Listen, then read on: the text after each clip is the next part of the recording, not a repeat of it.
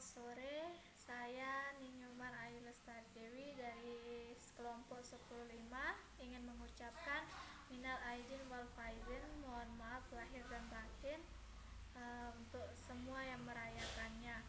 Uh, semoga puasa di tahun ini diberikan rahmat yang banyak dari yang puasa dan puasanya diperlancar.